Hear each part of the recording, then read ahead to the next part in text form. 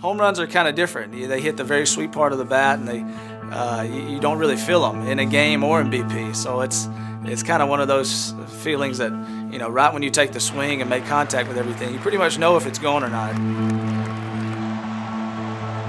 The day of the selection show, uh, Jose Bautista, the captain, um, he uh, he shot me a text and asked me if I would participate, and I called my wife and my family and each and every one of them, and especially my brother, because leading up to it, I I knew that he would he would be the one to throw to me. So we've always been close. He's two years older than I am, and so he's kind of he's been the backbone, I guess, of pushing me my whole life. And uh, he played college baseball. He's a pitcher, so he's well aware of the strike zone and where he has to throw it, that kind of thing. So it's been uh, pretty cool to see the excitement on his face. It should be an amazing event. I grew up wanting to be like the Derek Jeters, the, the Griffeys, the Chipper Jones, those kind of guys. When you get to interact with those guys that you dreamed about meeting, much less playing with them and sharing the same field with, that's, that's the best thing for me.